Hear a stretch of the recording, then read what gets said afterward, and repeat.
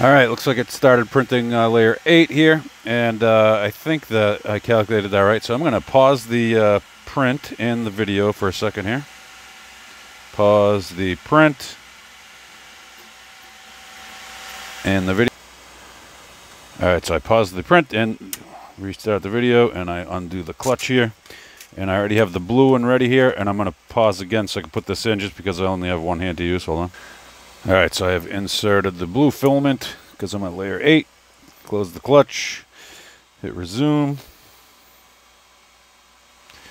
And we should start printing blue any second. I'm going to pause and let it purge the black. Uh, this is unexpected. This didn't used to happen with the old firmware. I hit resume, and it says resuming printing. Please do not operate. Oh, there it goes. It's resuming. Okay. All right, now we're printing blue.